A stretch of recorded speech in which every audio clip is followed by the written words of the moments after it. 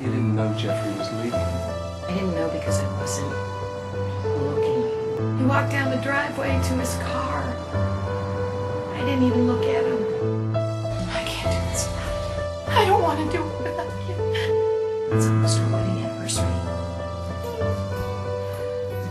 We've been together for a year. This is the perfect day. I want all of our days to be just like this. They think Jeffrey killed Edmund. They've issued a warrant for his arrest. We manufactured evidence to make Jeffrey look guilty.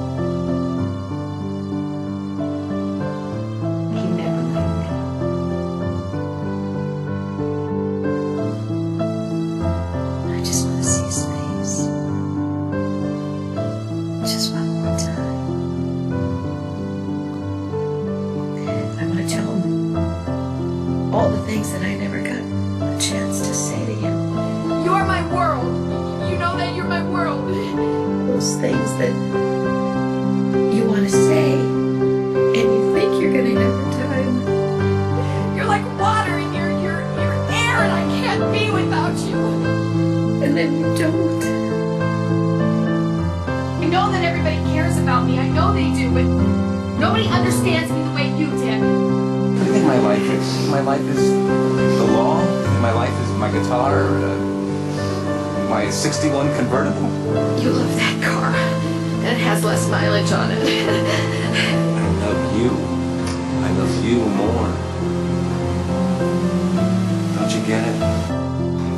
Reva, my life with you has been so incredible ever since we've been together, ever since I started living it with you.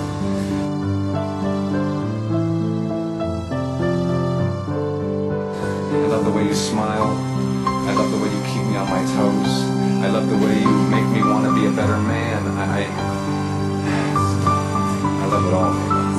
And I promise you that I'm going to do everything I can to keep that smile, that one right there, on your face, for as long as we both shall live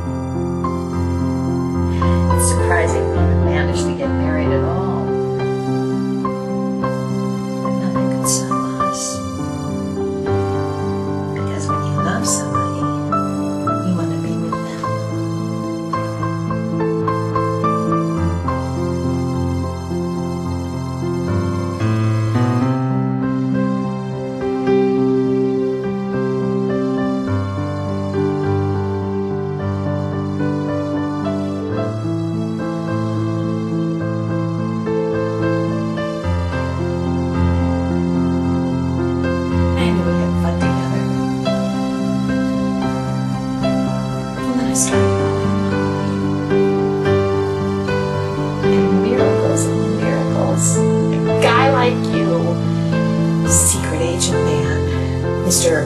I would rather live my life alone, Jeffrey O'Neill man, you.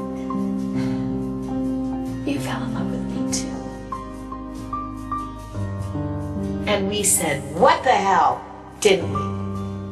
We said, what the hell, let's be together. What the hell, let's get married. What the hell? Let's have a party. Let's celebrate our life together. We did, didn't we? We had some